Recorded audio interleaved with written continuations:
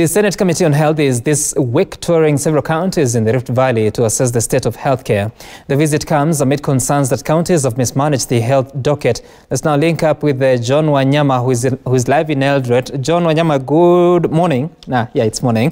Uh, so what can you tell us in as far as this visit is concerned? A few months ago, we saw the Health Committee of the National Assembly visiting Moi Teaching and Referral Hospital and, and saying that uh, they were doing quite a good job in as far as managing referral facilities and the referral services.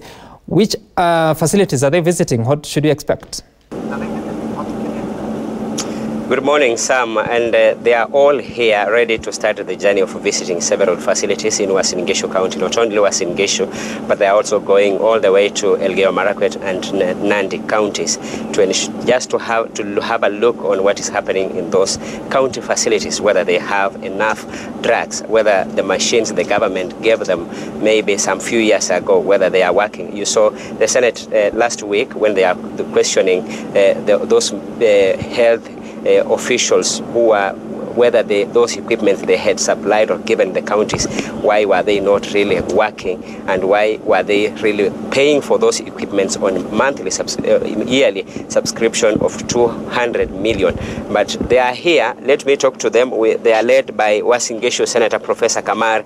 Uh, Professor, why are you in Wasingeshu? Why this visit maybe to, to these facilities? Last time we saw Moi Referral were doing fairly well, but why are you going to the grassroots? Yeah, thank you very much. Uh, thank you. I, we have a team of uh, from the Committee of Senate, the, Sen the Health Committee of Senate, and we are going to go around three facilities today. We are going to visit Ziwa, Moiben, and Keses uh, health facilities. Um, the first one, which is Ziwa, is a very important one for us, and um, and the reason is that in the year 2003, when uh, Moi Teaching and Referral had been was uh, taken over, because it was a district hospital, the government promised to facilitate the district with a new district hospital, and Ziwa was named. Uh, that we have in our answered reports, and we are supposed to have received a district hospital out of uh, out of Ziwa, Health Center. To date, 2019, we still have, are struggling in Ziwa, and uh, this committee has come to actually do a fact-finding mission to see exactly what the national government put in to ensure that um, the district hospital was up and running. Because what is expected today is that most of the district hospitals should be at level five. Uasin Gishu doesn't have level five. We know that uh, the county government should also play a role. So as a committee of Senate that takes care of the interest of um, the counties, it, just, it became important that, um, that they come in and I invited them to come and actually check that. The other two facilities are facilities that have uh, challenges here and there. we have received um, a petition from Moiben, we have received a memorandum from Keses. So we are answering to the call of the people that there are challenges in the facilities that have been built. Cancer is an issue, Senator. Maybe there were those equipments given to county governments by the national government. Maybe are you going also to check on this, whether they are working Cuban doctors who came in this country, have they done or have they brought any impact to our facilities?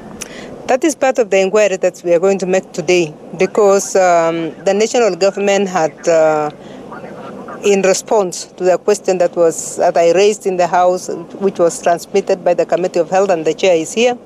Uh, they inquired from the ministry what has what was actually done to Ziwa, and it was uh, the minister responded by saying that the equipment that have been put in Ziwa. Uh, so some of the things we are going to look at those ones. Um, we know that the Cuban doctor, one of the Cuban doctors, was sent to Ziwa. Uh, we want to know also whether they are, they are they are being used to capacity because if the equipment are there, we hear some of the equipment may may not, may not be operational right now. Okay. So those are some of the questions that uh, the committees. Yeah. Thank you, uh, Sam. As you have heard from the senator, I'm being told by one man, man Mathangani, that we don't really have time. But uh, Mathangani, kindly, if you can give me one minute for the chair of the committee, one one second because they don't have the time. What is the, the state of health in this nation so far? In one second. Uh, as you know, we're going towards uh, universal health care, and uh, all efforts, all guns are being trained upon uh, ensuring that we achieve this very, very important milestone. I think we are on track.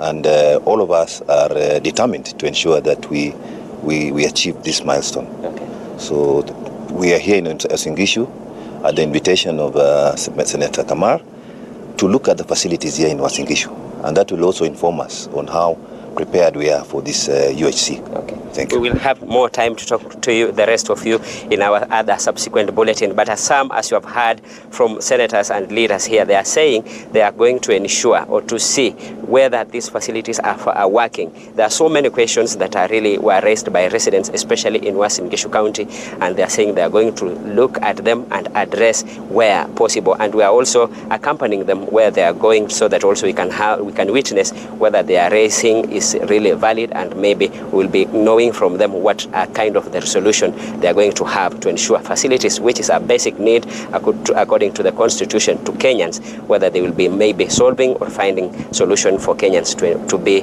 or to be to get that good health and treatment. Back to you, Sam. All right, thank you so much, uh, John Wanyama from Eldoret.